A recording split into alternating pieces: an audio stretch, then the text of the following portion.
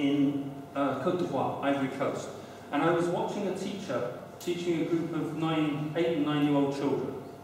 And it was fascinating because they had been learning about wild animals and domestic animals. And the teacher, I like the, the idea the teacher had. The teacher had defined domestic animals as ones you see very frequently, and wild animals as ones you don't see very often.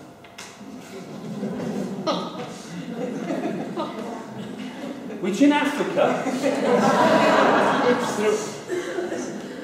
threw up a few very interesting domestic animals, like elephants, suddenly became domestic. Yeah? And what the teacher was doing was the teacher was standing with her back to the class, writing on the board the names of animals, and the children had to shout, wild or domestic. So the teacher wrote, dog, and the children wrote, domestic. And the teacher went, good, lion, wild, yeah. And remember, the teacher's got their back like that. And in the back, far back corner, was the door to the classroom. And the door opened, and in came the headmaster. and the teacher turned around and went, Headmaster! And the children went, Wild! At which point I fell off my chair and rolled around the floor laughing my head off because I just this was brilliant, yeah? So, as teachers, don't classify things because your students will make you look like an idiot if you're not careful. Okay?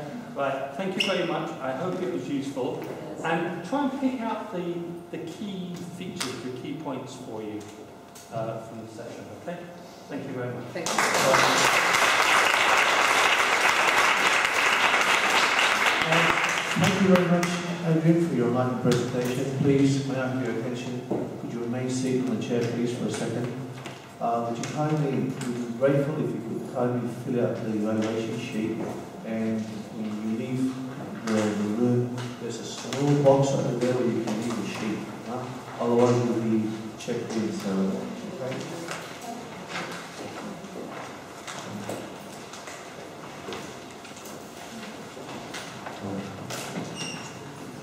So thank you very much for this afternoon's session.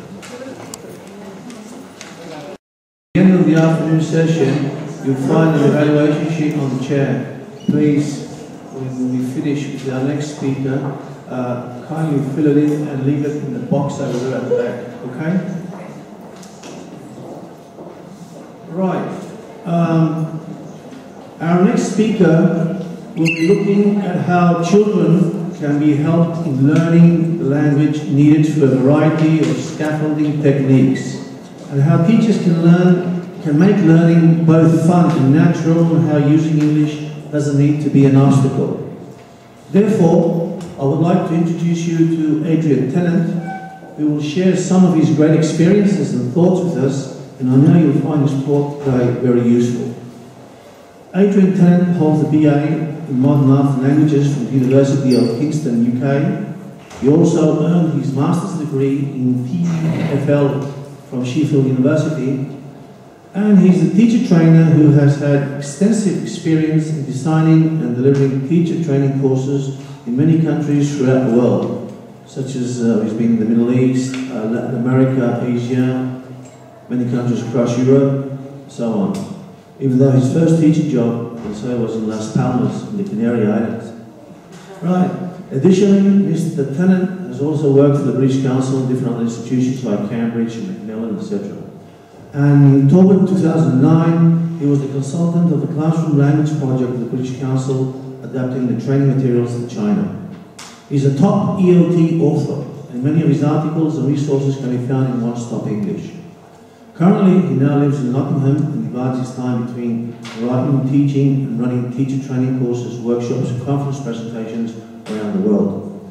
It must be said that he describes himself as eclectic, motivated, adventurous, driven, and tiring. Welcome again, Adrian Tennant. The floor. Thank you.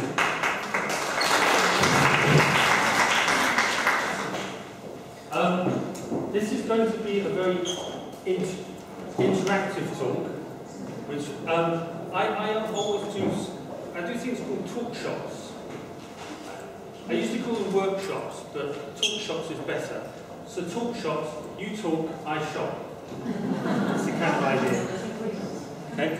And I think actually at this time of the afternoon it's probably good that I'm going to get you to activate yourselves and do things because you're probably fairly sleepy. Yeah? Um, so we'll start. I've got two pieces of paper here. It, it was one piece that I folded in half and tore in half, okay? Um, which reminds me, this is the next slide.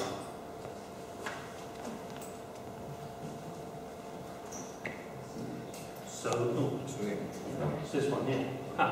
There you are. Okay. So this was half a piece of paper, I folded it and tore it in half. Okay? So which of these pieces of paper weighs the most? The same. The same. The one that's written on weighs. I don't think so, yeah? They should be the same weight, yeah? Because it's, they're the same size. And they're from the same piece of paper, so they should be the same weight, yeah? So if I hold them at the same height, which one will hit the ground the fastest? Which one will be first to hit the ground? This one or this one? Same height? Depends on the air Do you think they'll hit the ground at the same time? Yeah? Yeah? Yeah. More or less. Okay. Great. Okay. Which piece weighs more? They're the same. Yeah? You sure? So which piece will hit the ground first? This one. Yes. But they weigh the same. Yes. And last time they hit the ground the same. Yes. What's different? Ah. Okay. Which one hit the ground first? Why? Because it has less resistance in the air. Why does it have less resistance?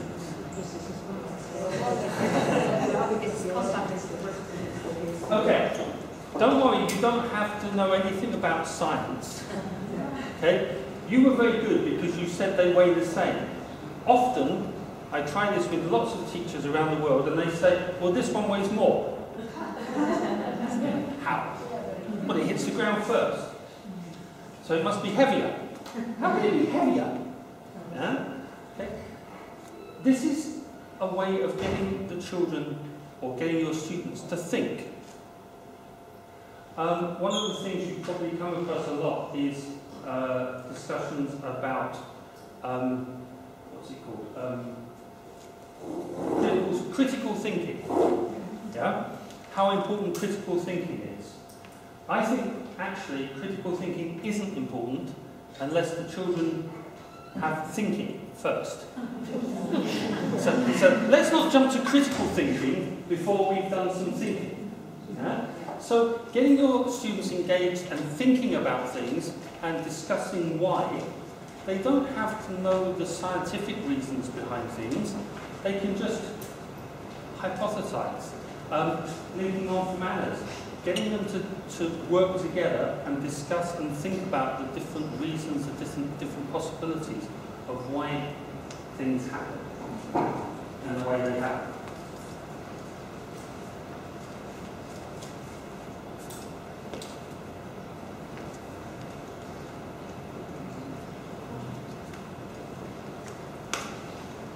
So this is going to be an interactive talk.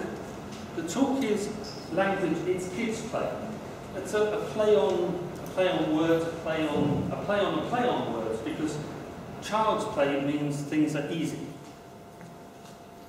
Um, I always think it's better to show, to do, rather than to tell. Um, I was talking to John earlier about an experience I had in China last year. I'd just done a five-day course for teachers on using English in the classroom. And then I walked past the room where they had a Chinese expert talking to them in Chinese about using English in the classroom. And I said, why is he using Chinese to tell them to use English? And the, the person next to me said, ah, because the teacher's English might not be good enough to understand. And I said, that's exactly what the teachers say about their students and why they don't use English. Um, we're going to look at language prompts, at scaffolding, at um, frameworks for getting your children to construct uh, language and to actually articulate more. Um, letting kids think is not about critical thinking, it's just about thinking. Um, and there'll be more of these points as we go along. There's going to be two slots as well of question and answers. So if you have any questions, there will be a slot halfway through to ask questions, to discuss things, and so on, and a, a question and answer session towards the end. Okay, let me have a. I get very thirsty. Which glass can I use? All of them. So I can do an experiment and see which one.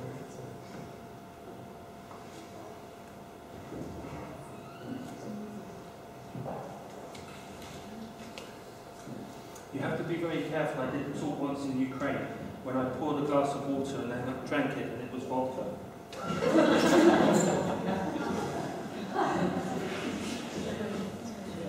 it looked the same and it was in a bottle like that, you know. Okay. Um, children. Children think. Even, even very little children can think. But we shouldn't expect them to think like us. They're not mini adults. Um, it really annoys me when I'm talking to some somebody, a, teacher, and they'll say, "Oh, my, th these children are very naughty. They, they don't behave properly.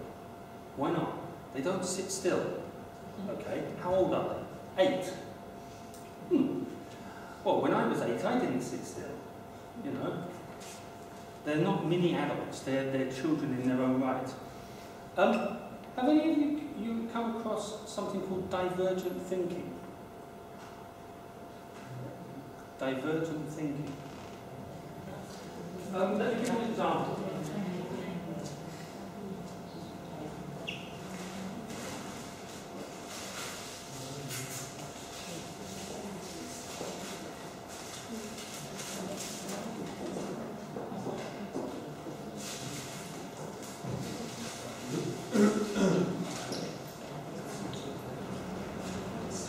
What's this? okay, I'll give you 30 seconds now, working with somebody next to you, 30 seconds to write down as many different uses of a straw as you think. Okay, you ready? So how many different things can you use this for?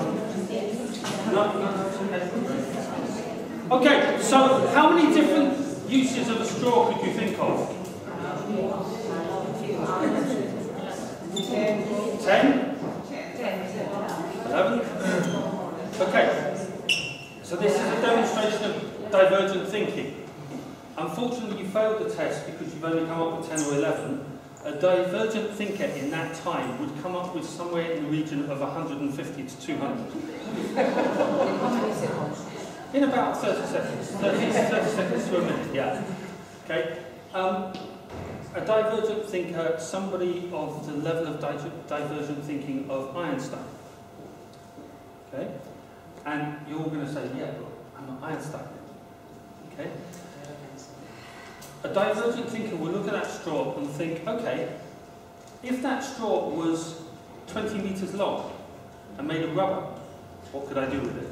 So they wouldn't just think about the straw as it is, they would think beyond that, that straw. What would it be if it was made of glass? What would it be if it was made of... So they would hypothesize all the different potentials they could get from different structures, different materials, different lengths, different... and so on. Now, there was a longitudinal study done uh, going back almost 30 years ago now in the USA, which was very, very interesting. Because what they did was they tested children on children's ability to be divergent thinkers. And they started off with a group of children between the ages of two and five. Okay, two to five year old children. What percentage of two to five year old children do you think are divergent thinkers?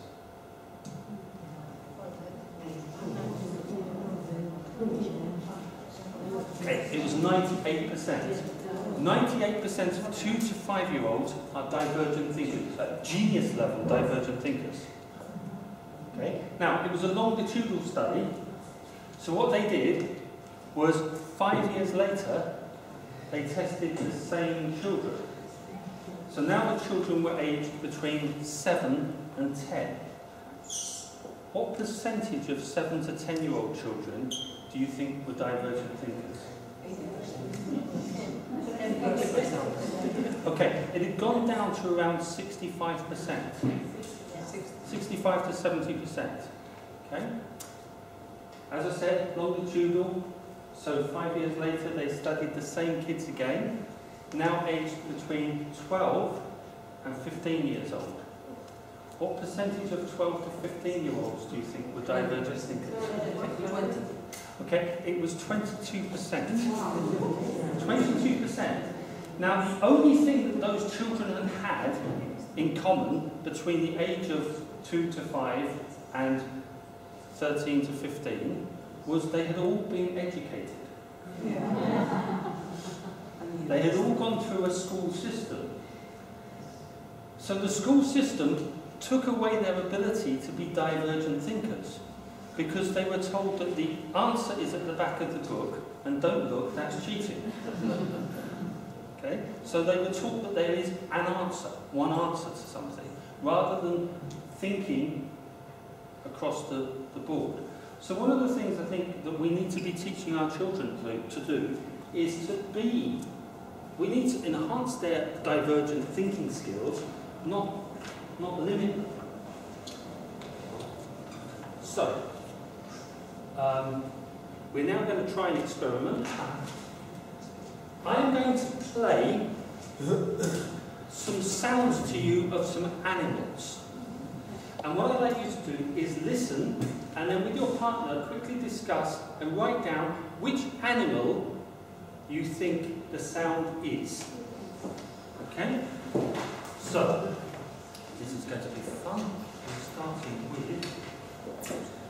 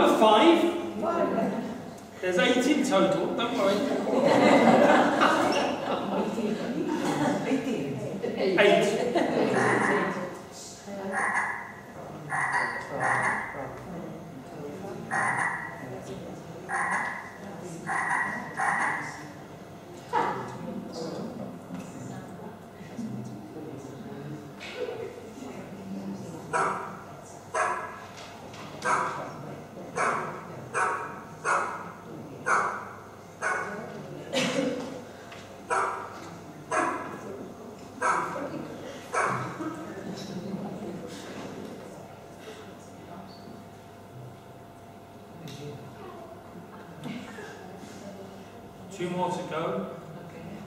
I should have learnt to read. I can't even read the names of the animals. And they've got pictures.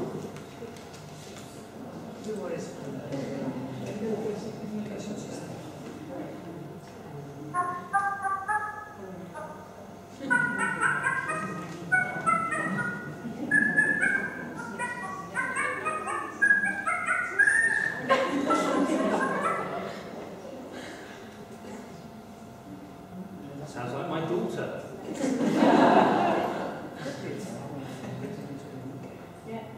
And the last one.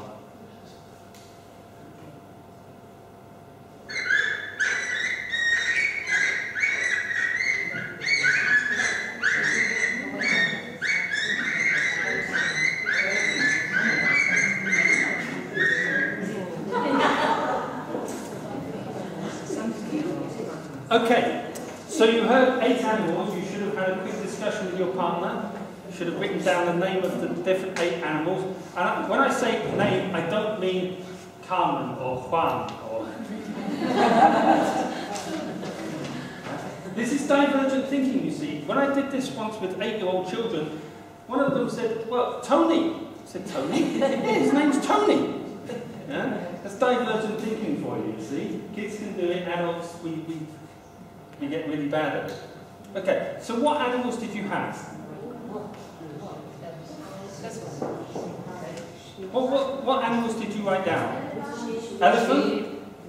Sheep? Lion? Frog? Dog? Monkey? Did, does anyone think they got all eight? Anyone, anyone confident they got all eight animals? Okay, well, I'll tell you what now, I'll help you by giving you a picture of each of the animals. Okay? But not in the correct order.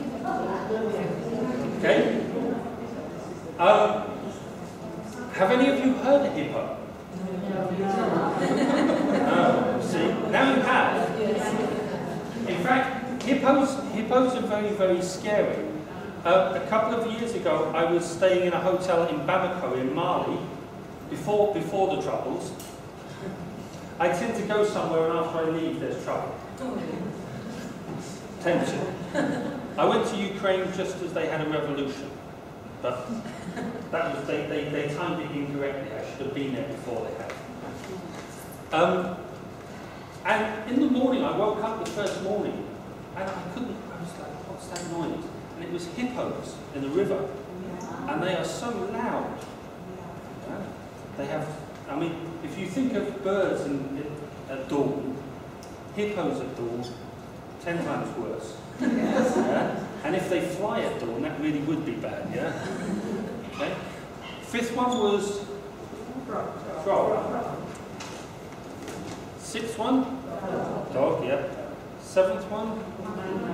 The chimp, yeah. So the last one, oh, actually they're whales. They're, they're beluga, beluga whales. And you know, you can buy that, you can buy whale music, can't you? On CDs, you can buy CDs with whale music that's meant to be relaxing. That's relaxing? That's why I don't do yoga. it's not relaxing at all. Okay, so, huh.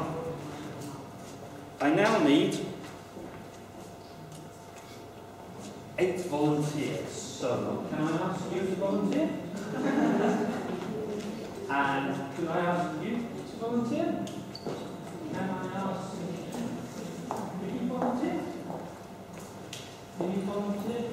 This is what the word volunteer means. okay?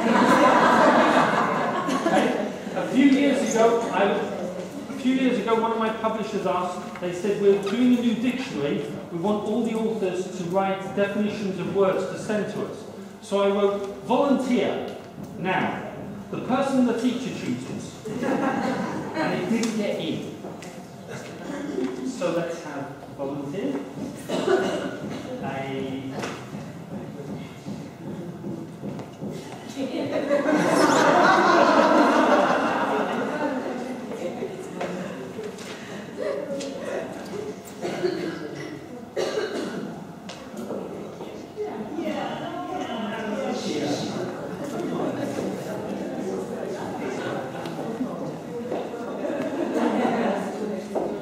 We need a gender, we need a gender balance. Okay, so I'm going to give each of you, and don't worry, you're going to be involved as well.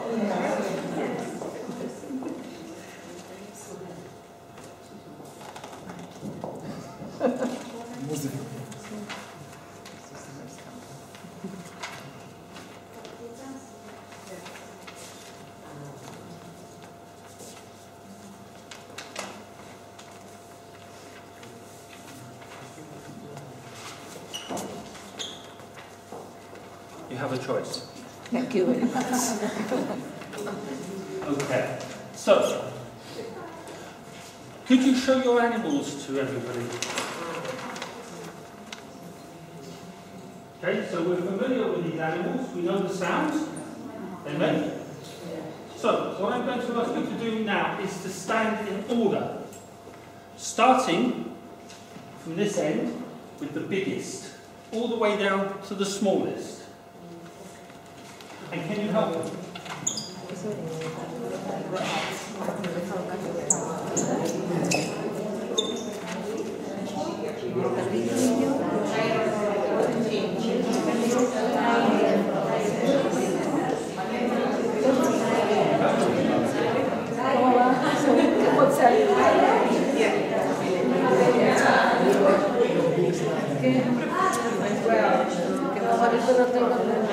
you are you happy with that? I was going to say, I've got I've got a West Highland Terrier which is this big, and I tell you what, sheep were a lot bigger than my dog. Okay.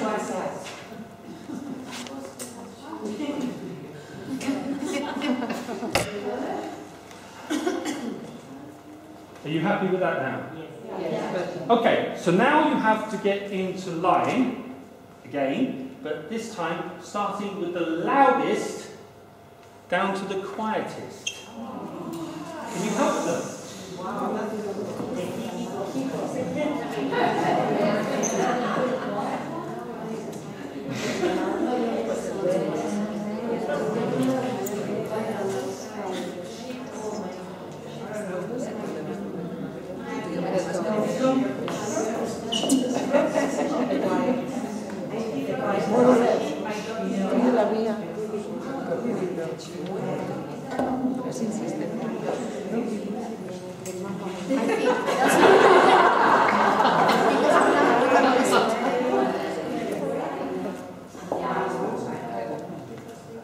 I don't know, I think, I think whales is quite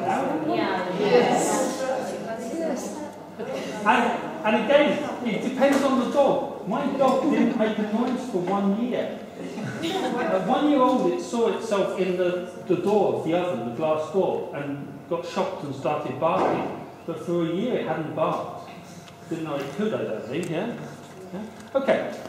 It's quite difficult, isn't it, okay? Yeah. Now, a line from this end to this end, the most dangerous to the least dangerous.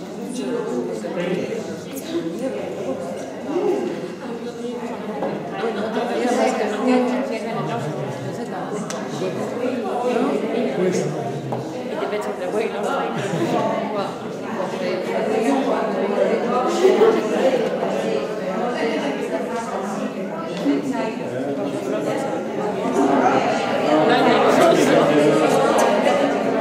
You, you don't seem to have moved. Help them.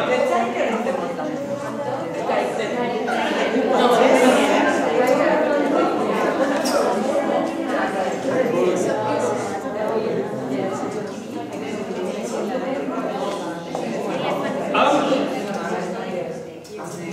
now, it, it's interesting. Sometimes I do this with mosquito. Mosquito always goes from the smallest to most dangerous. Yeah. Quite quickly. Um, hippos are, are definitely more dangerous than tigers. Hip, hippos kill more people in, Af- in Africa than, than any of the other animals put together. It's mosquitoes, humans, hippos. Mosquitoes, humans, hippos, in that order. Yeah? And, you know, for example, monkeys don't, don't kill very many people unless they're flying. So don't fly with a monkey is the answer to that, yeah? Or with the hippo, that's really dangerous. Okay, and one last order. From the most useful to the least useful.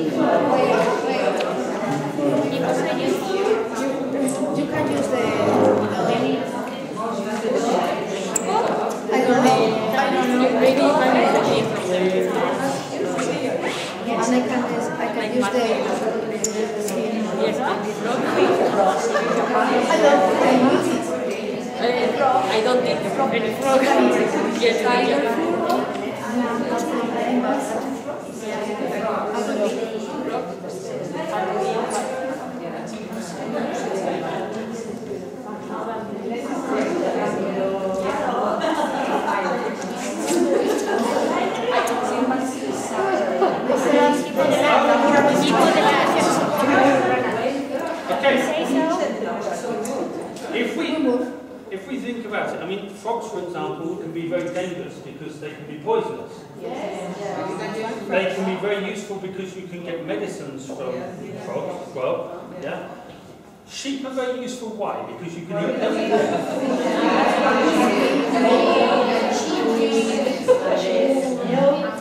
But, but you can you can eat frog. I've eaten frog. You can eat whale. You can eat dog. But for a blind, Um, but for a blind person, it's very useful. just imagine how many how many steaks you could get from hippo. Um, yeah, it's- just because you can eat, I mean, apart from eating it, what use is a sheep? Milk. Cheese? Yeah. I have yet to meet a sheep that makes cheese. That's a really clever sheep. If I, go, if, I, if I go up into the Pyrenees, I'm going to find sheep that make cheese. That's, that's good. I'll remember that when I, when I do the, the walk across Compostela. Because at one point I'm going to do that walk right across to Compostela and I'll have to eat cheese made by sheep. Okay, thank you.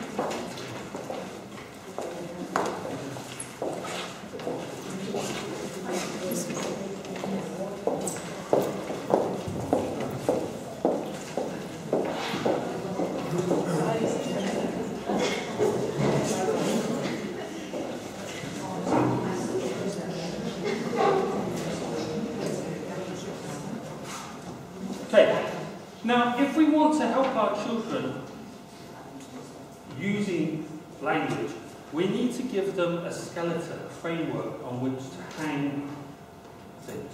You were, you were able to do an activity. Um, you can do a similar type of activity. I mean, what kind of language was being used? Or concepts were being thought of?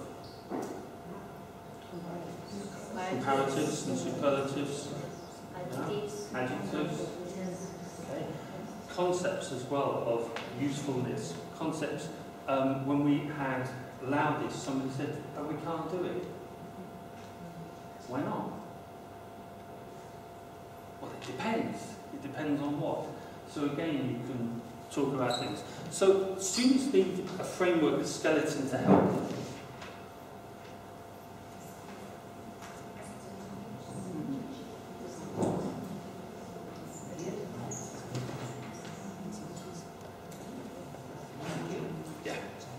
Missing articles. Articles aren't important. There's no difference between cold and a cold. Okay, articles are important. There you are. Okay, so with your partner, could you complete the framework?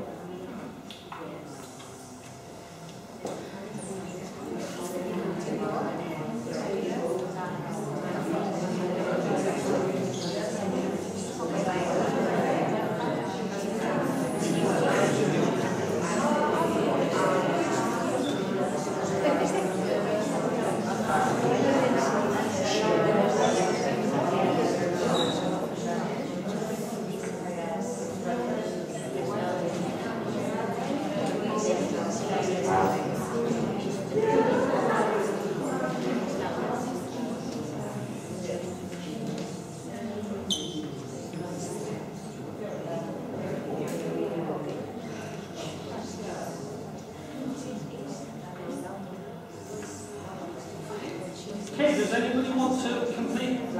Can you complete the first one? Somebody? An elephant is bigger than a tiger. Okay? Second one? The most dangerous animal is a hippo. Okay, right? Third one, a chimp is mm, than a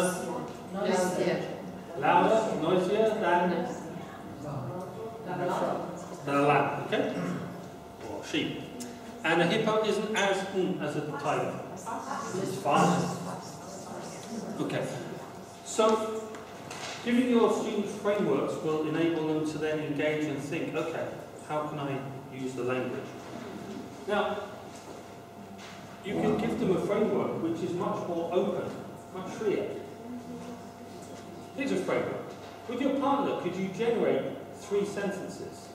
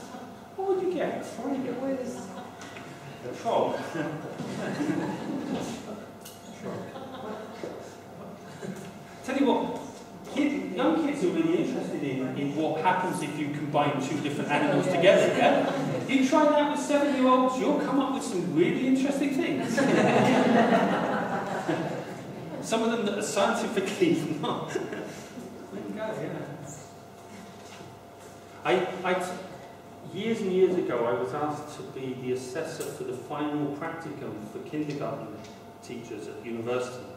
So they, they had a course for training teachers to be kindergarten teachers, English teachers at the university. And they asked me to do the final practicum. And I was like, I've never taught kindergarten. So I taught kindergarten for a year. Never again. That was the hardest year of my life. And I only had nine kids. Well, no, I didn't. I had eight kids because one of them was killed in the middle of a class by one of the other kids. well, it, it looked like that was going to happen, yeah? So, though, I always think if you've got teenagers and you think teenagers are trouble, kindergarten kids, no. Okay. So, question and answer.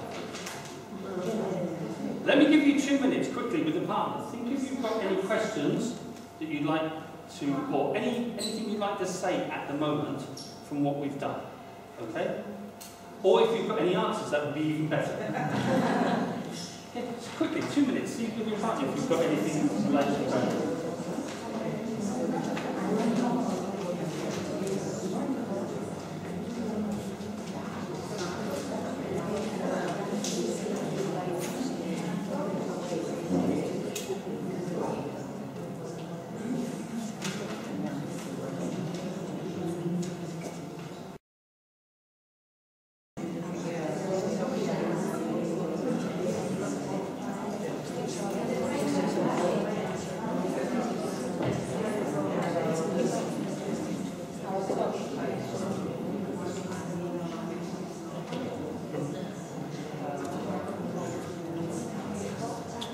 So, any any questions?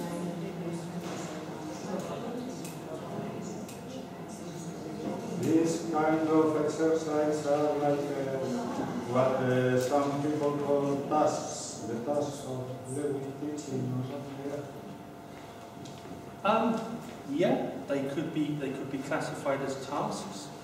Um, I, my feeling with, with teaching, well, my, my feeling with learning is that the people who learn and the way to get learning to happen is to engage. And too often, children are not engaging. I mean, if we go back to Anna's slides, you've got the teacher coming up with a three, four line question, and the response being yes. What- What's going on there? Not a lot. Um, have any of you come across um, a set of stories? A very, it's a very famous character called Nasruddin, or Hoja, Nasruddin Hoja.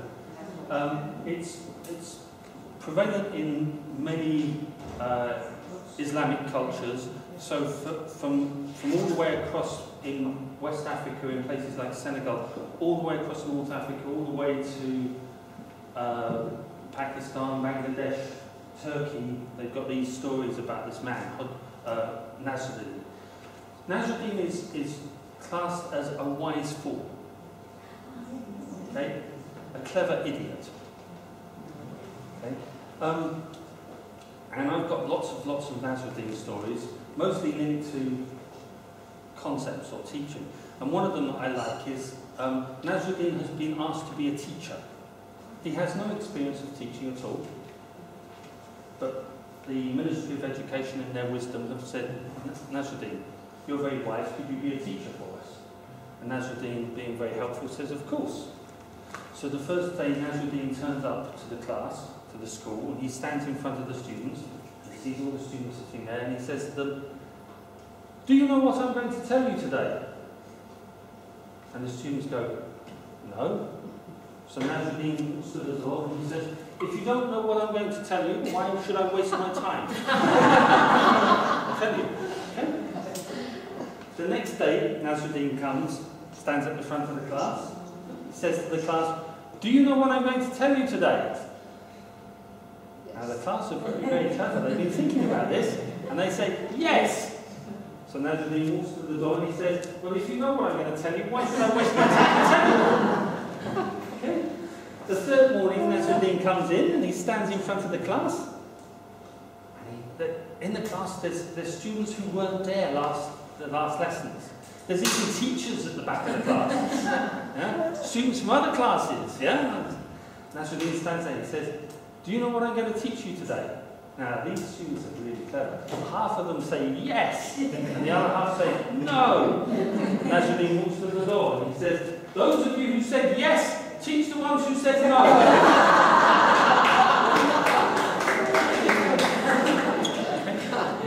That's what learner autonomy is. If you didn't know what it was, you've read about learner autonomy, you've heard about it. Learner autonomy is about getting the students to teach each other. Yeah? Okay. So engaging, yeah, it's they're tasks, but they're engaging tasks. Yeah? Engaging at a level of cognition, at a level of um, thinking, and a level, hopefully, of some form of production. Okay? But if I go back,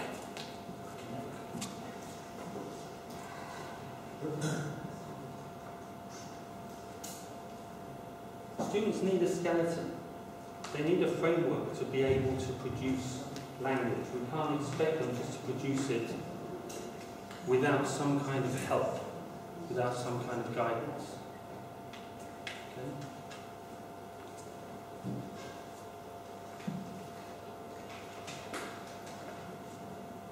Any other questions? Mm-hmm. Not yet. Mm-hmm. Okay. So let's move on, and we'll move on to the question of content. how can we teach content? and my answer to that is, how can't we teach content? Language without content is like a burger without the burger. you just have the bun. Um, it's natural to have content. If you teach English or Spanish or whatever language without content, what you end up is teaching about the language instead of teaching the language. So content is going to be natural. It always amazes me when people say, ah, CLIL, CLIL is this new thing, it's only been around for 20, 20 25 years, and I'm thinking, no, I think that Aristotle probably used CLIL in his classes. Yeah? He just didn't call it CLIL. It's a label that goes onto something. If you look back at book, books that were, I, I collect old EFL books, and I've got books from the uh, 1890s. They're full of content. In fact, we're very good at primary level. The books seem to have more content than at secondary level. Secondary level, they start talking about grammar. At primary level, they talk about animals. So, content's always been there. Um, the key thing is having something that's meaningful and interesting for the kids. Okay? So, um, how many of, can I just check, how many of you are primary school teachers? How many are secondary? Okay, so let's go, let's pitch this. Okay, nine-year-old children, okay? Thinking about nine-year-old kids. I'm going to give you four subjects, and I'm going to ask you to talk to people next to you or around you, two, threes, fours, doesn't matter, and to think of some content for each of these subjects. What content could you have? So the subjects are geography, geography, biology, physics, and history. Okay, so there are your four subjects. What content would be good for nine-year-old children? I'll give you three minutes to quickly come up with some ideas.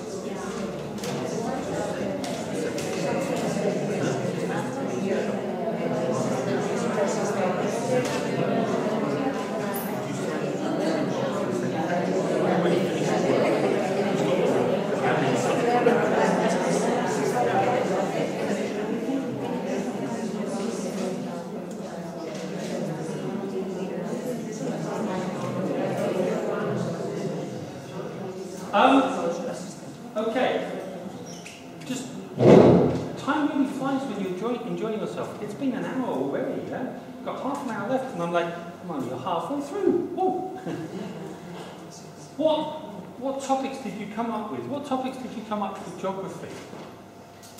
Mountains. Mountains. Mountains. Okay. Oceans, rivers, climate. Yeah. Climate's a difficult one nowadays. Yeah. Very difficult. Yeah, what, what, what climate do we talk about? Biology? Animals, habitats, water cycle? Okay. I wonder whether the water cycle fits into geography, not biology. Okay. Physics? Energy? Flotation, right?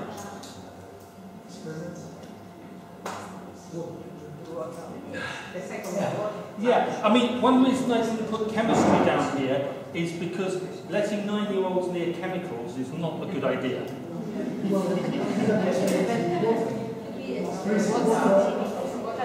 Yeah. What about history?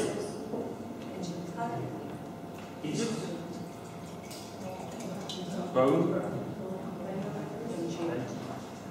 Apparently, our new education ministry in the UK has said that history has to be taught in the UK chronologically, which means by the time they get to nine, they'll be lucky if they're on the island. Yeah? Kids won't like history. Yeah? Okay. My, my godfather used to teach in an inner city school in Liverpool. He used to teach teenagers, teenagers who were trouble teenagers, so they'd been kicked out of most classes. And he was meant to teach them about the kings and queens of England. And he knew it was going to be impossible. So what he did was he started by teaching them about Genghis Khan. And Genghis Khan goes across killing people and raping and pillaging, and, and these kids loved it. they thought this was great, and history was great. And then he went on to the kings and queens of England, and he started with Henry VIII. and the kids loved Henry VIII. It's all the same. so if you're clever, you can you can link, you know, you can get the kids motivated and interested. Okay? Okay, what you've done there is you started by taking subjects and thinking of topics, and then from those topics you can generate language. The language always has to come out of the topics, not the other way round. Almost always we have a structural curriculum or syllabus that is imposed on our content curriculum, and it has to be the other way round.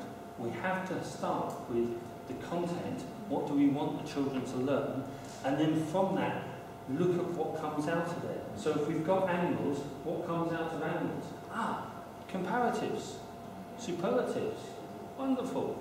Yeah? And it naturally comes out of that. This concept of a linear syllabus is, is baffling beyond belief. How many of your students how many of you, how many have you, oh sorry, how many of you have taught the third person S to your students? Anyone taught that? Yes. How many of you have successfully taught?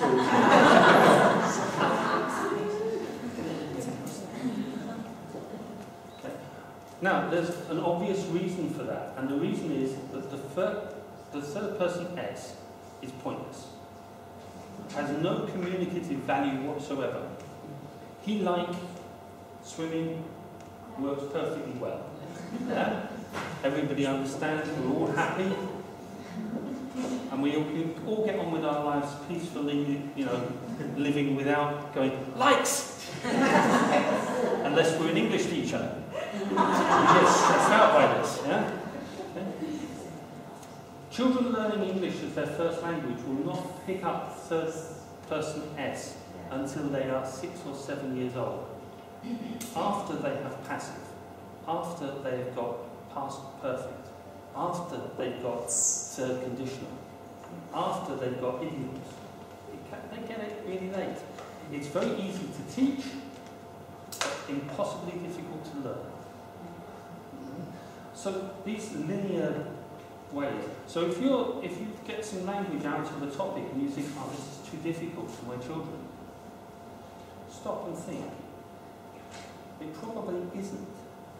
Because if it naturally comes out of the topic and the topic is right for the kids, then the language is right for the topic, then the language is right for the children. Yeah? They don't need to know what it is, they need to know how to use it and how to manipulate it. So, content is, it has, we have to have content. Do we have any science teachers here? Any, any science teachers? No? Okay. A few years ago I was teaching, I had a group of Basque teachers, uh, I was teaching in the UK uh, a CLIL course, and I had a group of Basque teachers, and on that course we had two maths teachers and one science teacher. very different. Um, and a PE teacher. And we had one teacher who was very stressed. He was very stressed because he taught uh, philosophy in to 16 and 17 year olds. And now he was going to have to teach religion in English to 12 year olds. And he didn't know which was the most stressful thing of all of that. Yeah? So no science teachers. Okay. Good. Can you have a look? There's some questions. Could you quickly discuss the questions with your partner?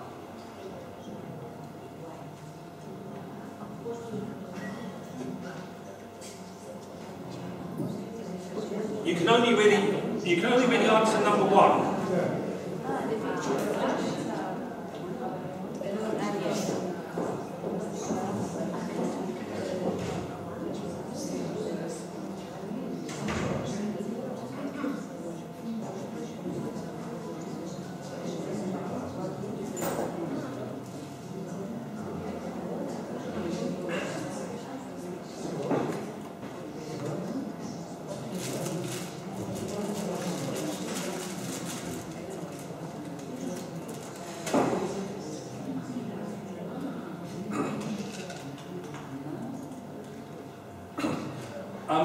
when, Lolly was emailing myself and Anna, and she asked me what, what equipment I needed, and she was thinking things like PowerPoint and so, and I said, I need some plastic cups, uh, some balloons and some drinking straws. And she said, what? Nobody's ever asked for that before. so here we are. Okay, so we've got a, we've got a, a cup with a hole in the bottom, standard drinking straw, and a blown up balloon. Oh. Okay? So I'm going to ask for a volunteer.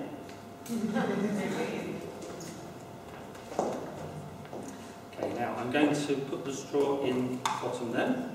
Can you, you probably need to face that way because they've got a camera.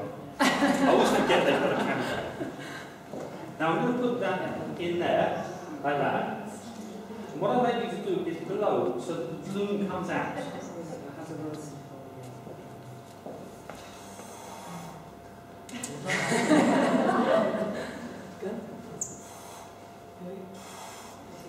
But, but hang on, hang on. it's not heavy. It, it's, very, it's very light. It's very light. Give another go. You probably- yeah, sure.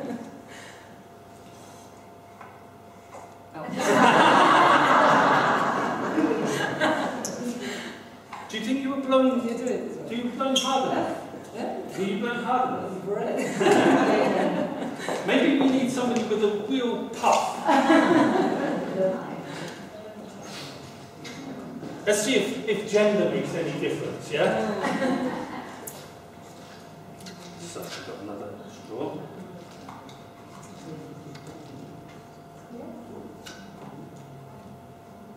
Okay?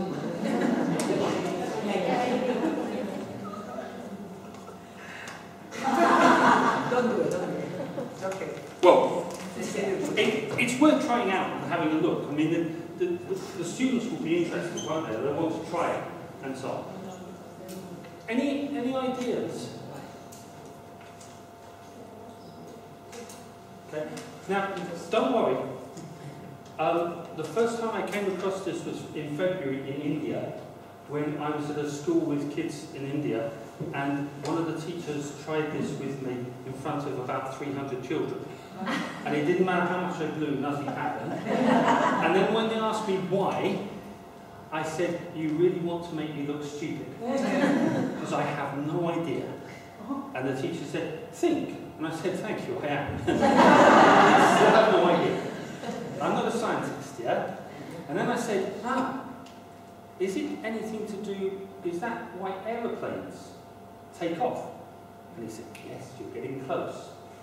Okay? And it's to do with creating a vacuum and creating pressure. And so aeroplanes use the levers to create, create a vacuum under the wing where the wind passes under, which allows them to lift off.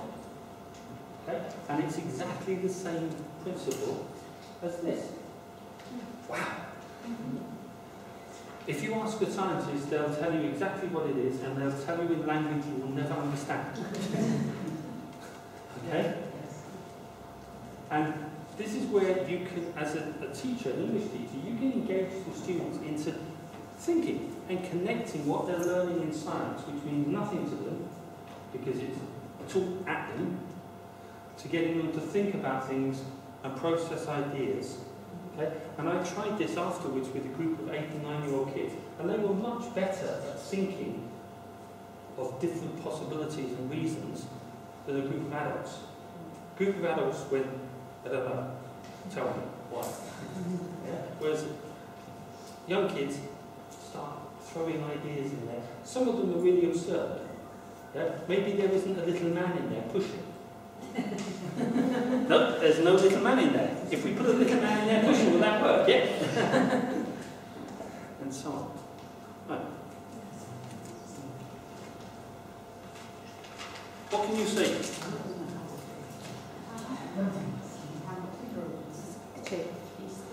What kind of picture is this? Okay? So it comes from, who do you think painted it? Cave, caveman, yep. So, we might have a chart, and we might ask the children to think and write down answers. How did Stone Age people live? What was their home like? What were the household jobs? What was food, clothes, transport, art? And we get the kids to fill in the chart using their knowledge, using their ideas. And we can give them a completed chart, for example, like this. And then we ask them, how do people live today? And get them to complete the same chart for living today. Now, as language teachers, what grammar immediately hits you?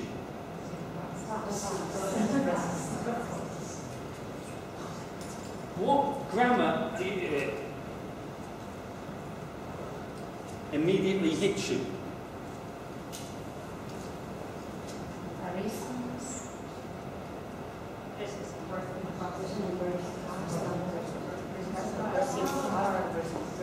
What do what grammar do we use when we're talking about the past and the present?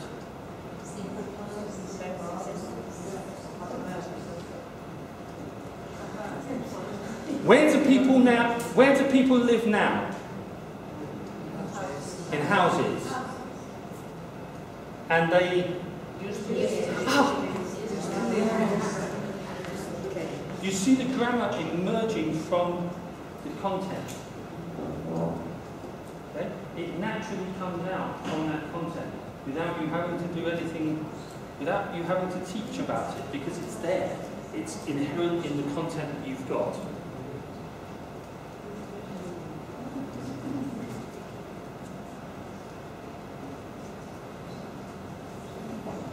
So grammar should naturally emerge, come out of your topics, rather than the topics being forced onto the grammar. Grammar is not a separate entity. It's not separate from language. It's part of it. So start with the topics and work to the grammar. Okay? I'm on a, a, a discussion group, and this morning uh, somebody in Germany posted something saying, I'm packing a suitcase, I'm just going to Turkey, but before I go to, I'm looking for my socks, I've got to find my socks to put in the suitcase. But before I do that, I really have to talk about grammar and these grammar tests in the UK that the Minister is introducing in the UK. The discussion has then gone on during the day. Um, Stephen Krashen has joined the discussion very, very famous name, you go, oh, wow. um, and I'm going to post tonight about socks and grammar, because I think it's important that we wear socks when we teach grammar. it. Uh, so, grammar should emerge from the, the topic. It should be natural. And you're going to do some classroom research about socks and grammar. Okay, so more on scaffolding. Scaffolding is natural. Here are six pictures from nature. Could you quickly identify what do you think those six pictures are? First one, giraffe. First one is a giraffe. A leaf, yeah. Spider's web, yeah. What about this one? Ah, it's a honeycomb. A honeycomb from the bees from a bee's nest. This is what the bees produce to put their honey in. Tree, trunk. Yeah, icicle.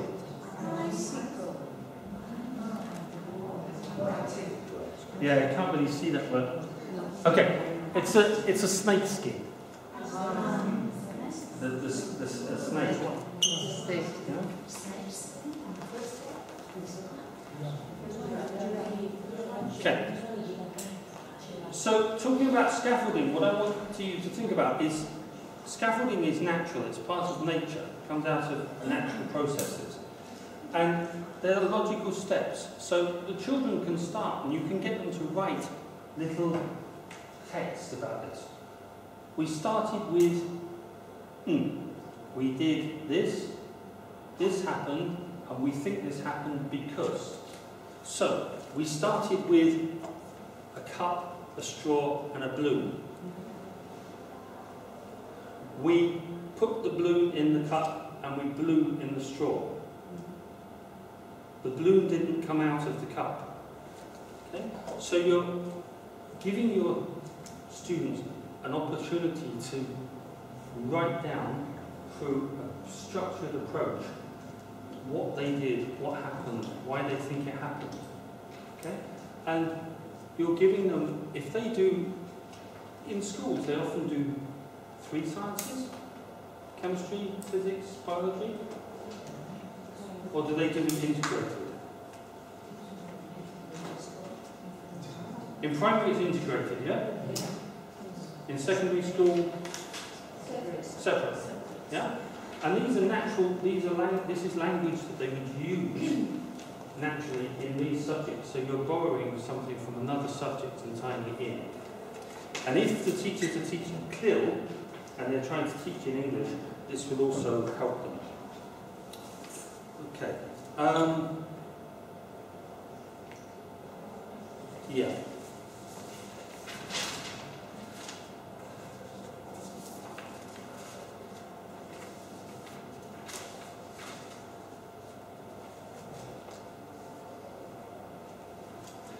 Okay, I need three volunteers. Let's see who hasn't volunteered yet.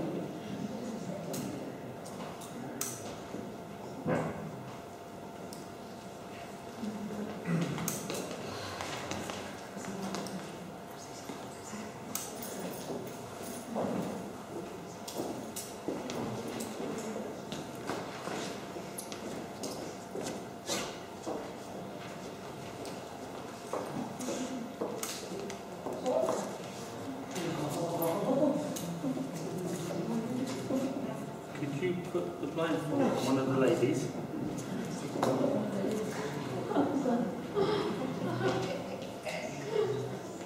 Okay. Can you put the blindfold on this lady here?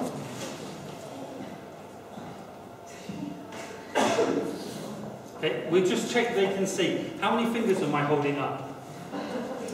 Ten. Ten. Okay, so we're, we're safe, okay? Um, could you come and stand, sorry. Could you come and stand here? That's very good after I've blindfolded you. Could you stand in the middle? Okay. Now, we're going to check your senses. Which sense do you think is your best? Are you best at touch, smell, taste? Me? Yeah. Smell. Smell? Hearing. Smell? Hearing them. Hearing, no? No. Touching? No. Tasting? No, no, no. Not tasting. No, no, just in case. Which are your best?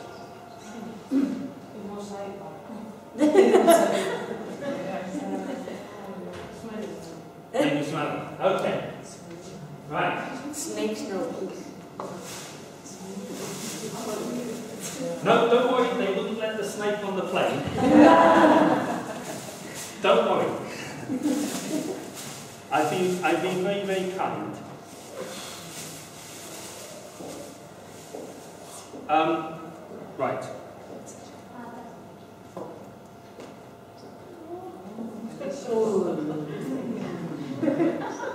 So, stand, don't worry. Um, could you choose one of the ladies and choose one of the senses? So do you want them to smell, touch, taste, or listen? And try and tell you what it is. If it's touch, you can give them the object. If it's one of the others, you have to hold the object for them.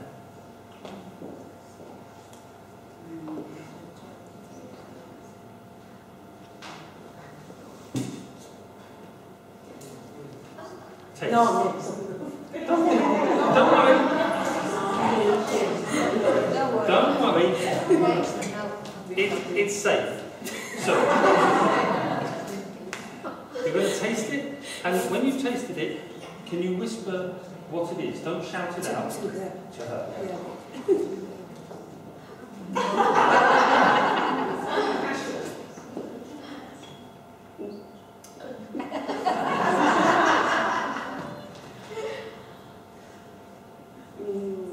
Don't shout it out.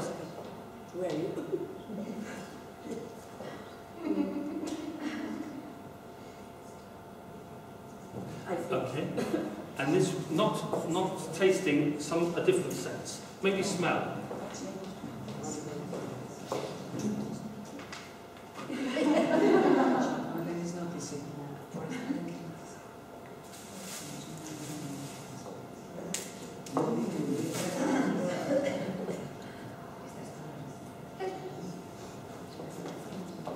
So what did what did they say? Great. Yeah. And strawberry. Spanish strawberries taste.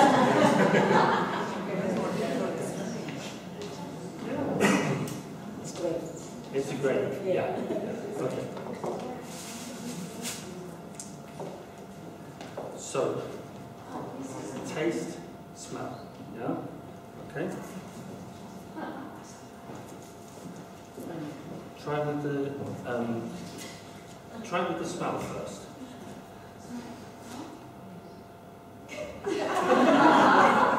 Okay, and taste, and then they can whisper in your ear.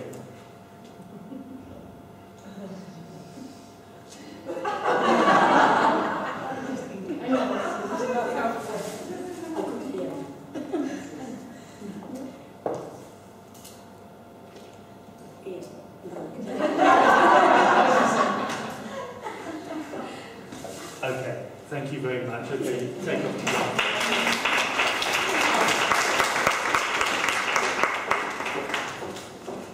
Um, I went, I went for safe, safe taste, safe things. But with the, with kids, you can do it with things like paprika and salt and pepper. Yeah? And the children nominate the, s- the sense that they think is their strong, their best sense. Smell. Smell is quite difficult. Yeah? And in fact, um, I'm, I'm, I'm studying a degree, an open degree with Open University at the moment. I'm doing lots of different weird and wonderful combinations. So last year I did international development, and then I did archaeology, and at the moment I'm doing genetics and forensic science. And I found out in genetics that we have a chromosome, chromosome 11, is one of our chromosomes in our body. So we have, in each cell we have 46 chromosomes, and one of them is chromosome 11. Chromosome 11 is like 20, 24,000, 25,000 genes long. And it's our, it's, it contains our smelling genes. And out of the 24, 25,000, we have 48 that actually work with our nose. And the rest are called junk DNA. They're rubbish. They don't do anything. Yeah? So our smell is probably pretty useless if you think that another animal with chromosome 11 will probably have 15,000 of those which will work. Yeah? So compared to an animal that uses smell, dogs for example, I think my dog has a much better sense of smell than I do. But I'm not going to check it out. because the things she smells, I don't know. I don't know. Okay. So again, engaging your students in thinking and using their senses. So, senses there.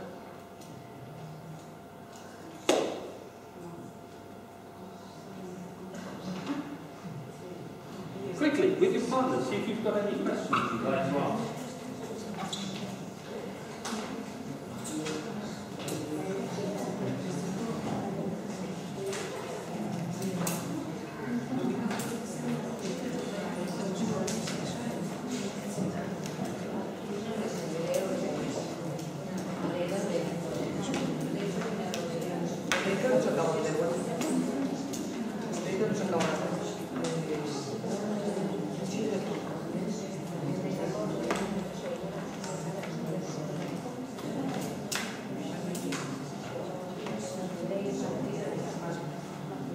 Um, so, any any questions?